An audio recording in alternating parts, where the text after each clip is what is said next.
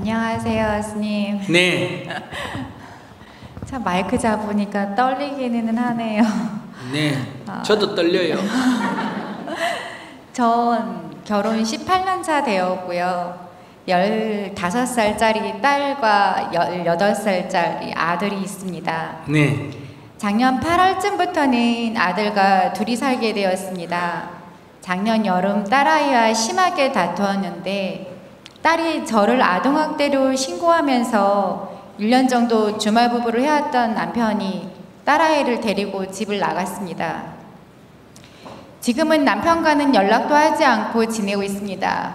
한동안은 방황도 하고 정신과 치료도 좀 받다 우연히 스님의 법문을 들으면서 아침 수행을 하고 있습니다. 깨장을 가서 제가 욕심과 집착이 엄청 많았다는 것을 알게 되었고 지금은 아침마다 어리석었던 저의 지난날에 대해 참회를 하고 있습니다. 또한 남편에 대해 원망하고 미워하고 한해지던 것들이 가끔 훅 하고 올라올 때가 있긴 하지만 어찌 보면 지금의 제가 혼자 잘 살아갈 수 있도록 남편이 잘 다져주었던 것 같다는 생각이 들기도 하고 이 사람도 강했던 저와 사느라 고생했겠다는 생각이 들기도 하고 그리고 지금은 제가 조금 자유로워져서 좋은 것도 있다는 생각이 들기도 합니다. 그런데 제가 스님의 귀하신 말씀을 청하고자 하는 것은 중학교 2학년 딸과 고등학교 2학년인 아들에 대해서입니다. 아들은 가정이 이렇게 분열된 것이 동생 때문이라 생각을 하고 동생을 싫어합니다. 가끔 동생이 집에 오는 것도 싫어하고 동생이 제게 뭔가를 요구하면 아들은 동생에 대해 욕을 하며 엄마인 제가 한심하다는 듯이 이야기를 하며 저를 이해할 수 없다는 이야기를 합니다. 한 번은 동생과 자기를 선택하라며 심하게 화를 낸 적도 있었습니다. 딸아이는 아침마다 제가 전화를 해서 안부를 묻곤 합니다. 그런데 얼마 전 딸이 제게 전화를 해서 용돈을 넣어, 넣어 달라고 했는데 바로 넣어주지 않는다고 전화를 해서 소리를 지르고 명령조로 용돈을 당장 입금해달라고 하는 거였습니다. 그런데 그때 전 이런 생각이 들었습니다. 아, 얘는 그냥 내 몸을 빌어서 이 세상에 나온 아이일 뿐이었나 보다 라는 생각이 들면서 딸아이에 대한 정이 탁 떨어져 나가는 느낌이 들면서 며칠 동안 딸아이에게 전화도 하지 않았습니다. 그리고 지금은 가끔 전화를 해서 별일 없냐고 묻긴 한데 예전처럼 살갑지는 않고 마음이 그저 무겁기만 합니다. 제가 아들과 딸에게 어떻게 해야 하고 어떤 마음을 가지고 기도를 하면 좋을지 스님께 말씀을 청합니다. 너무 막연하다. 그러니까 아들이 뭐가 문제예요? 아들은 크게 문제가 없는데 그럼 딸은 뭐가 문제예요? 제가 딸이 문제인 것보다는 제가 아이들을 어떻게 해야 될지를 잘 모르겠어요. 어떻게 하기는 가만 놔두면 되지. 그러니까 아들은 동생이 집에 오는 것도 너무 싫어하고 못 오게 하라고 그러고 못 오게 하라 그러도 그냥 오면 되지 뭐. 지가 어떡할 건데. 그래서 지금 그리고 딸은 또 제가 그럼 어떻게 아들이 나보고 비 안 오게 해달라. 비 안 오게 해라. 그러면 어떡할 건데. 알았다. 이러고 말면 되지. 그럼 될까요?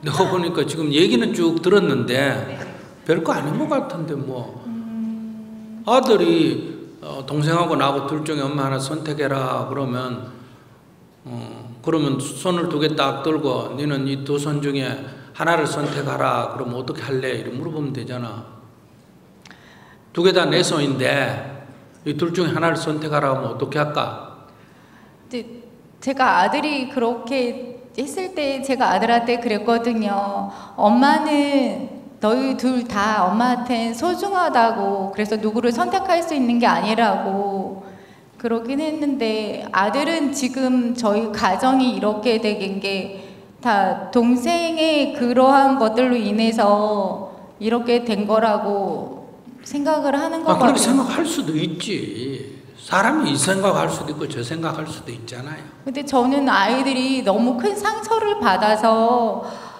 어, 뭐, 뭐 때문에 상처를 받았는데 그러니까 지금은 이제 딸아이는 남편이랑 살고 있고 아들은 이제 저랑 살고 있잖아요. 그래. 그런데 뭐가 문제? 그러니까 아들은 그게 상처가 된 것 같아요. 무슨 상처가 되는지 물어보면 되잖아. 그러니까 말은 하지 않는데 그 자기는 이게 싫대요. 그러니까 아버지도 안 보려고 하고 아빠는 자기한테는 이제 아빠라는 존재가 없다라고 생각을 하더라고요. 어, 하면 어때? 할, 그렇게 할 수도 있지. 그렇게 그 부부가 엄마. 아빠가 한 집에서 안 살고 따로 사니까 아이 생각에는 나는 아빠가 없다 이렇게 생각할 수도 있지. 근데 뭐한 집에 안 살면 돼. 안 사니까 애가 그렇게 생각할 수 있는데 그럼 자기가 한 집에 살면 되잖아. 근데 살기가 그래요. 남편이 제가 싫다는데 어떻게 해요? 그럼 애한테 얘기하면 되잖아. 너희 아빠가 내가 싫단다. 그래서 이렇게 사는 거야. 이렇게 얘기하면 그러니까- 되지 솔직하게. 아이는 그걸 알아요. 근데 아이는 그게 동생 때문이라고 생각을 해서 동생 때문에 아니다. 이런 말하면 되잖아. 그러긴 했는데 뭐 어려운 일이라고 그러나. 얘기는 했는데 아들이 그렇게 생각을 안 해요. 안 하는 건 지타 지 문제지 뭐. 누가 나한테 당신 하나님 믿어요. 그러면 나는 안 믿을란다. 이러면 당신 안 믿으면 지옥 간다. 그럼 내 지옥 가겠습니다. 이러면 되잖아. 너 왜 자꾸 나한테 와서 귀찮게 하나? 그렇게 얘기할 필요가 뭐 있어요? 자기 말하고 싶다는데. 말하면 말한 대로 놔두면 되지. 그럼 그냥 그 듣기 싫으면 가버리면 되지.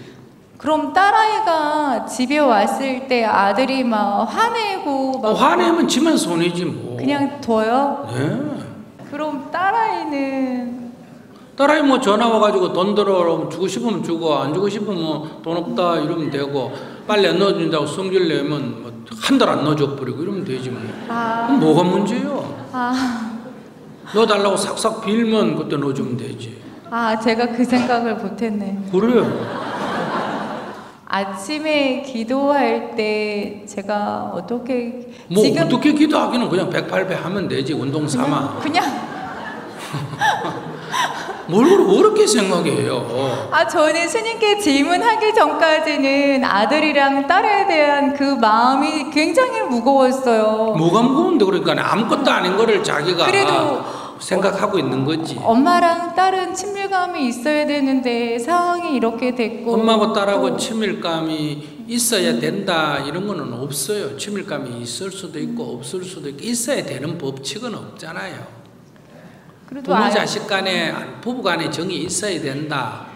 그 있으면 좋지만 없는 경우도 있고 같이 살아야 되면 좋지만 못 사는 경우도 있고 안 헤어지면 좋지만 헤어지는 경우도 있고 안 죽으면 좋지만 죽는 경우도 있고 그런데 죽는 경우도 있는데 뭐 헤어지는 거야 있을 수 있는 일이잖아요. 그리고 부부가 이렇게 헤어지니까 애들은 지 좋은 데로 가서 사니까 엄마한테 잔소리하고 그러니까 딸은 이제 아빠한테 가고 아들은 엄마한테 살고 이렇게 쭉 자기들이 선택해서 사는데 엄마하고 아들하고 자꾸 갈등이 생겨가 원수가 되면 이제 아들은 아버지한테 간다 이런 소리 할 거고 딸도 또 아빠한테하고 원수가 되면 나 엄마한테 갈 거야 이러고 꼭 그런 거요. 그리고 왔다 갔다 하는 거예요. 내가 보니 지금은 아무 문제가 없어요. 뭐가 문제인지를 자기가 딱 얘기해 봐요. 저 솔직히 딸에 대한 마음이 제가 너무 무겁고 아, 왜 딸이- 무거웠냐니까. 그러니까 아, 돈 달라 이러면 있으면 주고 없으면 안 주면 되는데 그게 뭐가 무거워요. 해줄 수도 없고 안 해주기도 그러고 막 그런 것도 있고요. 그리고 딸이 떨어져 해줄 수도 있으니까 없고 안 해줄 수도 없고 이게 아니고 네. 해줘도 되고 안 해줘도 되는 거지. 해줄 수도 없고 안 해줄 수도 없다고 자기는 이거를 속박으로 생각하는데 내가 볼 때는 해줘도 되고 안 해줘도 되고 둘 다 프리예요. 자유예요. 아이가 상처받을까봐 그리고 자꾸 삐뚤어져 나갈까봐 하는 염려는 솔직히 있어요. 뭘 삐뚤어져 나가 이미 삐뚤어졌는데 말하는 거 보니까 그러지는 않아요. 엄마한테 전화해가지고 욕설하는 그 삐뚤어진 거지 뭐 삐뚤어질까봐 삐뚤어질까봐. 이미 삐뚤어졌어 그러니까 걱정할 필요 없어 그러면 제자리로 잘 삐틀지 않게 지금이라도 해야 되잖아요. 엄마 아빠가 성질 내가지고 따로 사는데 우리 산 거에 비해서 너는 그래도 우리가 많이 삐뚤어졌고 너는 그래도 덜 삐뚤어졌다. 이거 다행이다. 고맙다. 이렇게 생각하면 되지. 지 잘못한 건 생각 안 하고 다 남한테만 잘못 아니 제가 잘못한 것도 알고는 있어요. 아니, 뭐 자기도 특별히 잘못한 거 없어. 남자가 뭐 싫다는데 그걸 어떻게 싫다는데 그래서 그거는 마음을 내려놨어요. 그래요. 그걸 내려놓듯이 애들도 우리 잘못한 거에 비해서 애들은 훨씬 잘못을 덜 했다. 그래도 우리보다 낫다 어린애들이. 이렇게 생각하면 아무 문제도 없잖아.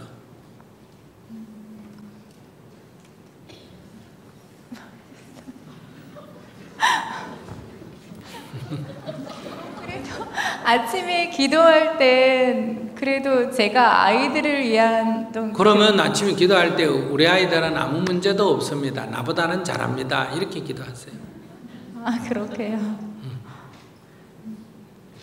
그래도 될까요?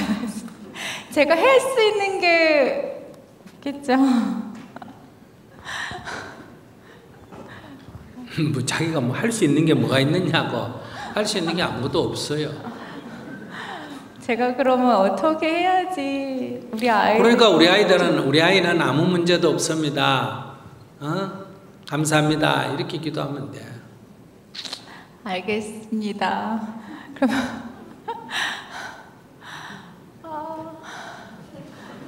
지금 지금 같은 이제 지금 자기 내가 이렇게 끄는 자기가 지금 이, 이거 지금 마이크를 놓지도 못하고 들지도 못하고 계속 할라 해도 그렇고 안 할라 해도 그렇고 그만 마이크를 탁 놓으려니까 뭔가 찝찝하고 계속 들고 있으려니까 할 말이 없고 네. 이 지금 이런 것이 자기 인생의 문제라는 거예요. 그런 자기 성격이 이 모든 그러니까 남편이 볼 때 자기를 보면 깝깝하게 느껴지는 거예요. 자꾸 화가 나고. 그래서 안 보는 게 나아. 나쁜 건 아닌데 사실은 같이 살면 굉장히 힘들어요. 그게 지금 아이들하고도 관계도 그래요. 자기가 지금 끈적끈적하게 이렇게 지금 그렇게 했어요. 삽박하게. 어 그래. 어, 내, 내가 못 살아서 너희들이 그렇구나. 그래도 너는 나보다는 낫다. 나보다는 잘 산다. 어. 이렇게 딱 생각해서 남편도 아, 자기가 싫어하니까 뭐 나 같은 성격 싫어하구나. 그래 뭐 좀 살아보다가 필요하면 또 오세요. 그때 내가 또 잘해볼게요. 이렇게 가볍게 생각하라는 거예요. 그게 공, 그 기도고 그게 수행이지. 그러면 끈적끈적해가지고 그러니까 애들도 엄마를 만만히 보고 그러지. 엄마가 뭐 애들하고 애들이 엄마를 뭐 어떻게 만만히 봐요. 음. 애, 애같이 행동하니까 애들이 엄마를 만만히 보지.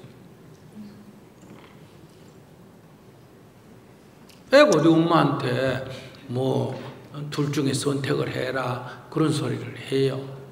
그저 안 쫓아내고 집에서 밥 먹여주면도 어머니 고맙습니다 이렇게 하도록 딱 바짝 잡아야지.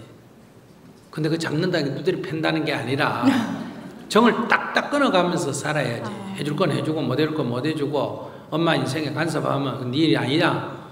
이렇게 딱딱하고 살아야지. 거의 뭐 짜증이나 내고 또 끈적끈적하게 정이나 묻고 야단 쳐놓고 또 가서 잘못했다고 빌고 내 그런 짓이나 하니까 애들도 엄마를 만만히 보고 딸도 엄마를 만만히 보고 남편도 자기를 만만히 보고 어? 동생 저기 뭐 아들도 자기를 만만히 보고 큰 소리 치고 딸도 자기를 만만히 보고 돈안 보낸다고 신경질 내고 그게 얼마나 자기가 초라한 인생인 줄 알아야 된다니까? 자기가 뭐 때문에 뭐가 모자라고 그렇게 어? 세 사람한테 다 괄시받고 살아요 자기가 좀 정신 차리고 똑바로 살아야 된다니까. 그건 정, 그건 교육도 안 되고 아무 도움도 안 돼요.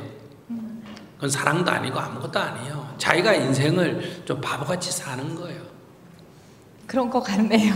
그래, 내가 봐도 네. 좀 모자란데. 네, 감사합니다. 네.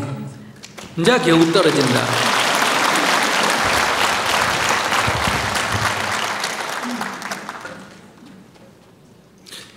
끈적끈적하게 엿처럼 그렇게 껌처럼 살지 말고 살과제 있지.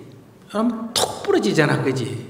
바삭바삭하게 그랬죠. 살아요. 살 때는 딱 즐겁게 살다가 죽으면 안녕히 계십시오. 혼자 잘 살고 둘이 있으면 즐겁게 살고 혼자 있으면 혼자도 잘 살고 이래야지. 혼자 있, 둘이 있으면 귀찮다고 맨날 싸우고 혼자 있으면 외롭다고 또 맨날 울고 이렇게 끈적끈적하게 살지 말라는 거 인생을.